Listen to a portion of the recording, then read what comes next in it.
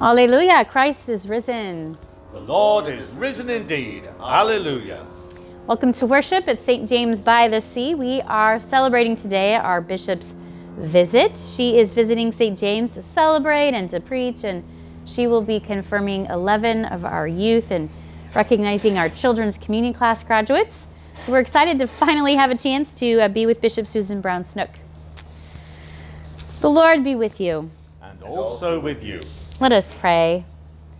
Almighty God, whom truly to know is everlasting life, grant us so perfectly to know your Son, Jesus Christ, to be the way, the truth, and the life, that we may steadfastly follow his steps in the way that leads to eternal life through Jesus Christ, your Son, our Lord, who lives and reigns with you in the unity of the Holy Spirit, one God, forever and ever. Amen. Amen.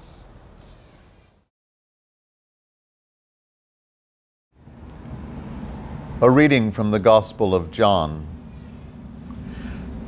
At the Last Supper, when Judas had gone out, Jesus said, Now the Son of Man has been glorified, and God has been glorified in him. If God has been glorified in him, God will also glorify him in himself, and will glorify him at once. Little children, I am with you only a little longer. You will look for me, and as I said to the Jews, so now I say to you, Where I am going, you cannot come.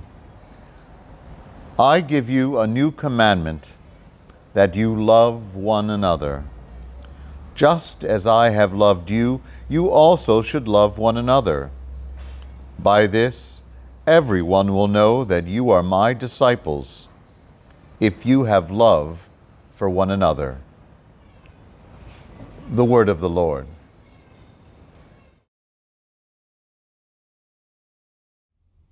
Good morning, St. James. I'm Bishop Susan Brown Snook, and it's a great pleasure to be with you this morning.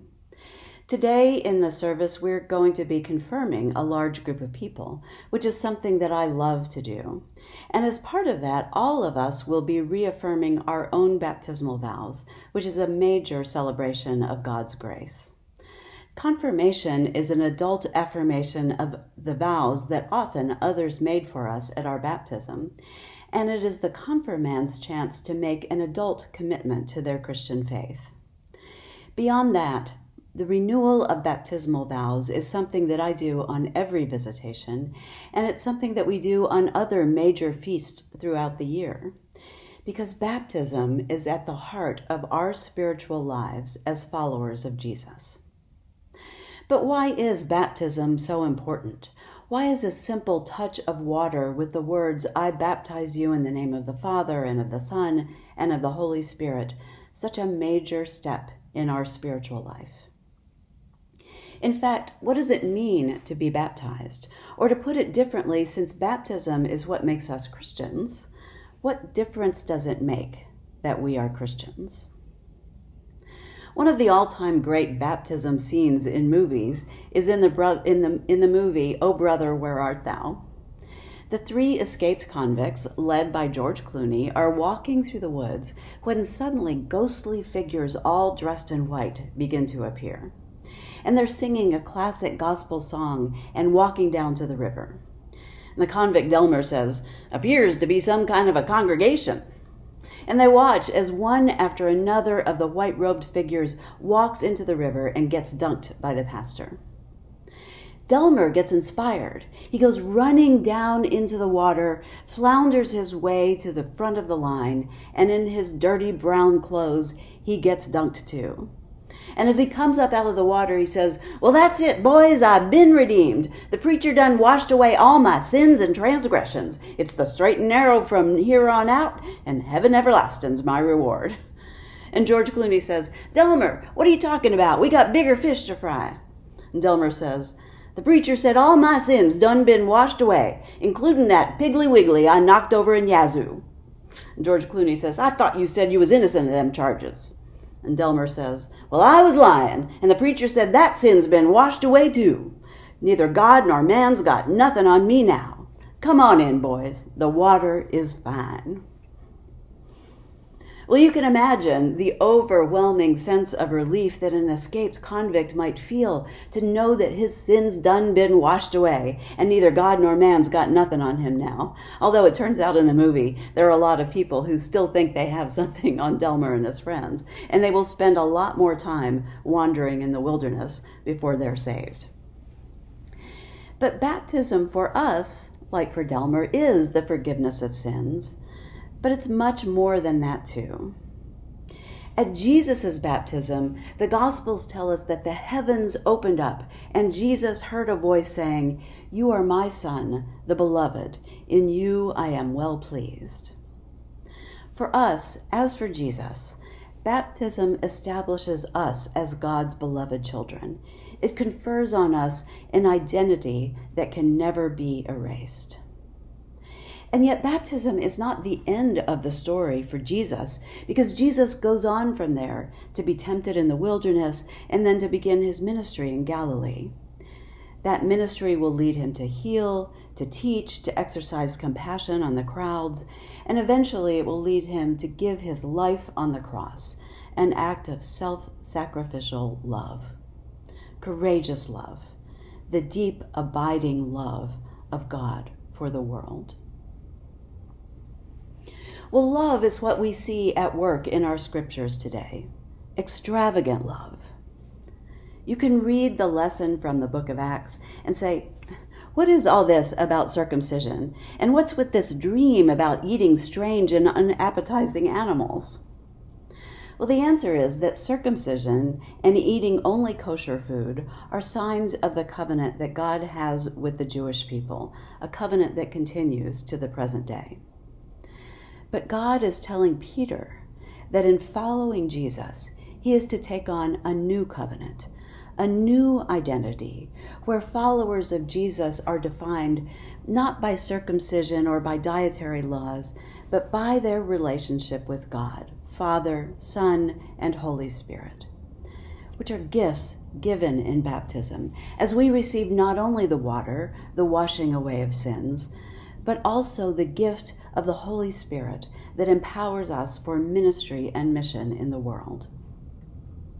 Peter's dream tells us that while the Jewish people still maintain their own identity that has brought so many gifts to the world, including the gift of Jesus, Christians will adopt a new identity, refocusing our lives on God's mission to those who are not already part of God's covenant and expanding that covenant to all the people of the world. That change of identity and mission is the reason that God that Christ's love spread beyond Israel to us. This story marks the turning point in the book of Acts and a turning point in church history because from here on out, at its best, the church focuses its attention outwards. As the 20th century Archbishop of Canterbury, William Temple, said, the church is the only organization that exists for the benefit of those who are not already members. And although living for the sake of others instead of for ourselves does not always make us comfortable, it does not always take us to the same places in the future as it did in the past. It does not always allow us to keep the same identity, the same way of worshiping, the same ways of, of living that were perfectly good before. Still, that love that calls us outwards is at the foundation of our calling as Christians. Love that puts the welfare of others before our own love that, as Jesus commands us in the gospel, gives our love to others, just as he gave his love to us. God's love for us, after all, is extravagant. It's overflowing, like Jesus in this gospel today on the night before he died, knowing that that love will take him to the cross. Christian theology says that God's love overflowed into creation and caused all things to come into existence. And God's love overflowed into Jesus, who came into the world as the Son of God, whose love was poured out for us, who was broken on the cross, so that his love could spill out. A love that was stronger than death, a love that would not stay locked in a tomb, a love that overflows to everlasting life. This story tells us that the very love that Jesus gave us is the same extravagant love that we're called to share with each other and with the world around us. But how do we come to understand God's call to extravagant love and where it will send us? Some of us come to know God in miraculous, overwhelming spiritual experiences. But I think for most of us, coming to know God's love and love God and others in return is a journey. It's composed of multiple small moments like a flower coming to bloom over time.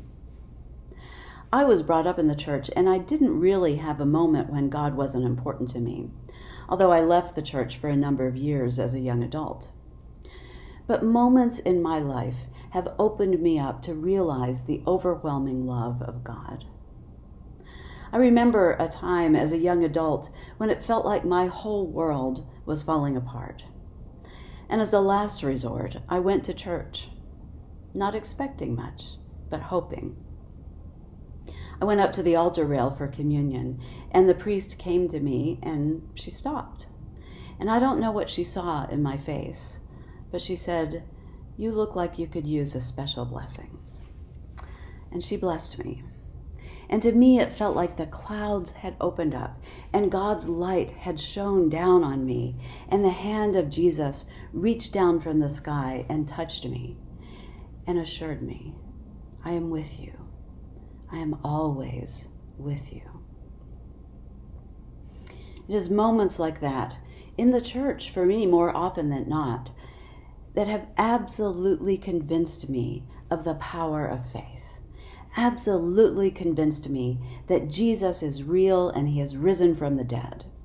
Assured me without question that Christ is with me always and that Jesus calls me to follow him and to live a life as best I can of love.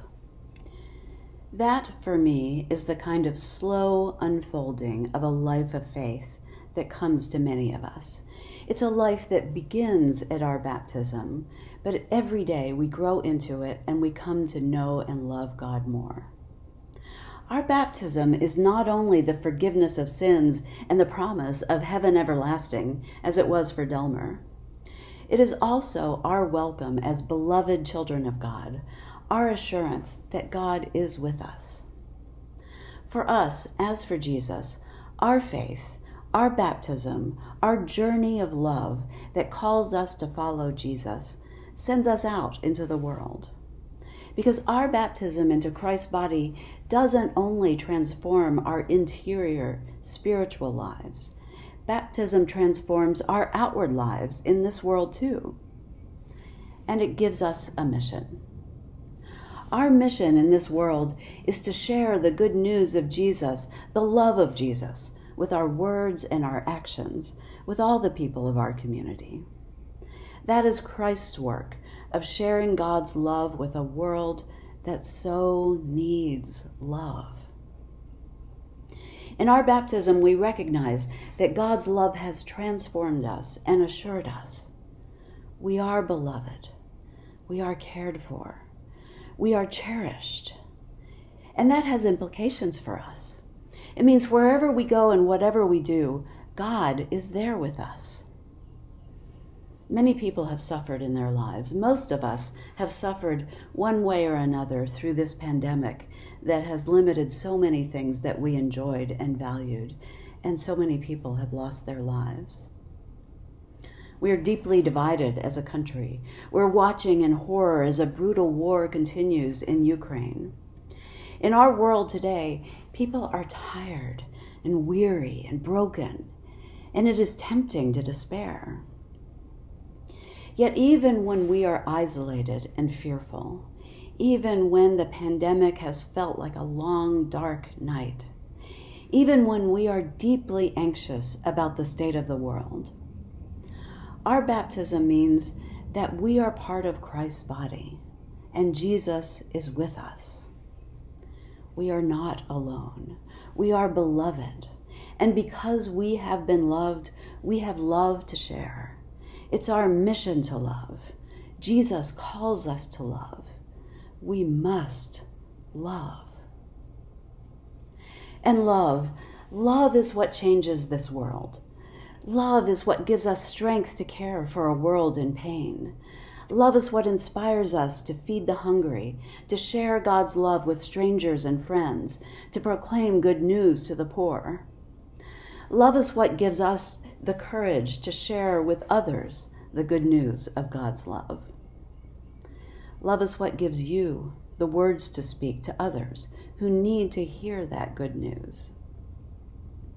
Love is what brings our diocese to this year of evangelism. Love is what brings us together today for worship. Love is what will bring Presiding Bishop Curry in December to San Diego for the Good News Festival, and I hope you will join us there.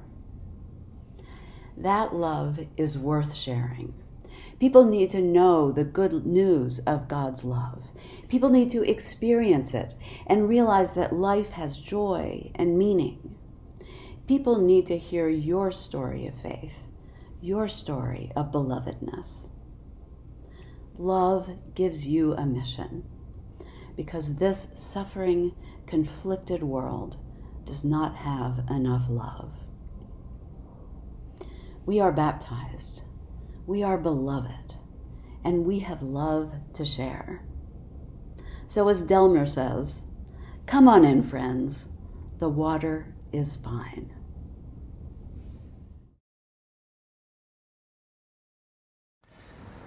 In our prayers today, let us bring before God all those making decisions. And we begin by naming before God our confirmands as they make their decision to follow Christ. So we pray today especially for Lorenzo Armatrano, Marcello Armatrano, Cecily Eastman Pinto, Juliet Eastman Pinto, Violet Eastman Pinto, Claire Haratunian, Matthew Haratunian, Michael Strickler, Jack Taylor, Jack Wainwright, and Noah Wainwright. May God's blessing come rest upon them, particularly today, that they might know God's love and grace surrounding them as they take this new step in their walk of faith. We pray too for all those who make decisions that affect nations. We think particularly of our leaders, for those charged with being involved with the war in Ukraine. We pray that you will give them wisdom, stay their hand, give them good counsel. We pray that peace might come to that region. Lord, in your mercy, hear our prayer. And at this season of graduation, we think of all those leaving educational establishments, deciding where to work or what to do next. In this season of change, we hold up all those at that stage of life.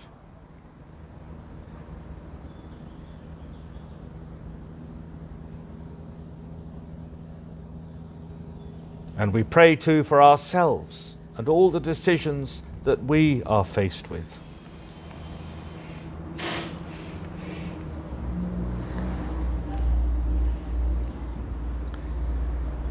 And we gather our prayers together in the words that Jesus himself taught us Our Father, who art in heaven, hallowed be thy name. Thy kingdom come, thy will be done, on earth as it is in heaven.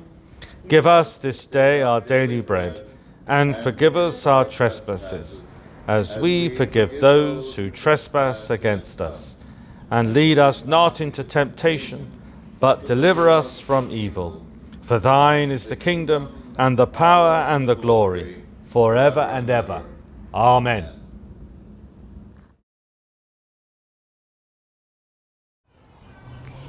May Almighty God, who has redeemed us and made us his children through the resurrection of his Son, our Lord, bestow upon you the riches of his blessing.